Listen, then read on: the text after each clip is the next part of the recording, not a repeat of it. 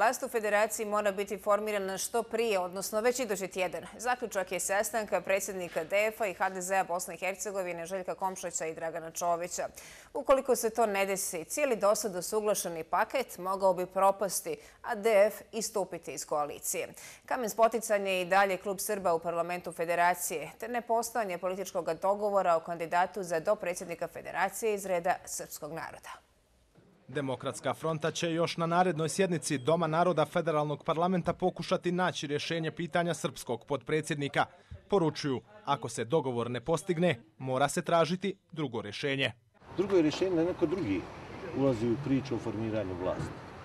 Dakle, to je jednostavno drugo rješenje, jer DF ima samo jednog zastupnika Srbina u, u klubu Srba u parlamentu federacije.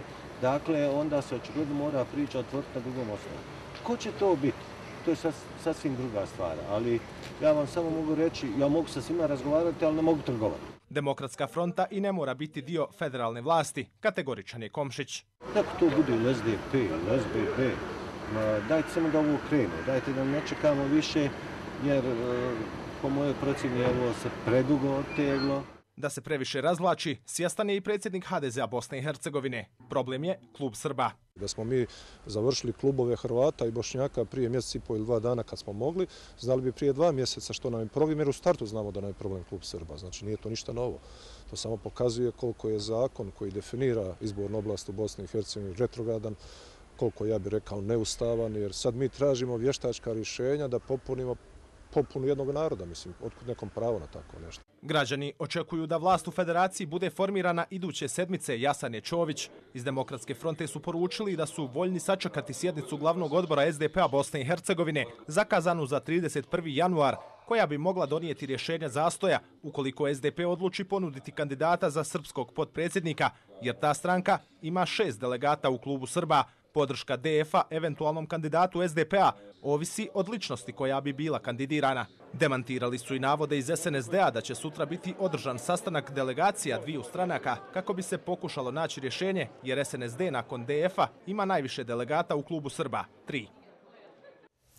A predsjednik HDZ Bosne i Hercegovine u telefonskom razgovoru za TV1, a nakon sastanka sa Komšićem, pojašnjava da njegova stranka ostaje pri ranije izrečenim stavovima o sudjelovanju u vladi federacije te državnoj vlasti.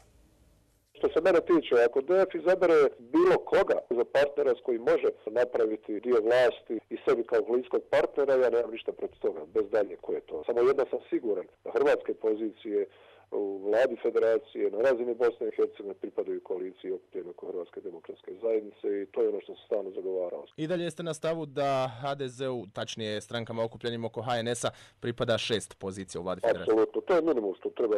To mislim da danas nije predmet neke velike obrade. Hoće li državni nivo čekati uspostavu vlasti federacije? Apsolutno, apsolutno. Znači ne dolazi u obzir e, još više samo na neki način ohrabren u tom razmišljanju jer evidentno, ja razumijem stranke koje žele što prije napraviti izmjenu vijeću ministara. Zato što tamo nisu. Ali mi nismo vladi federacije i ja sam upravo zato sugerirao da vlast napravimo do kraja prošle godine. Od izbora do danas, ja mislim da je federalna vlada donijela bar 20 imenovanja na ključna mjesta hrvatskih pozicija od kad im je kao mandat.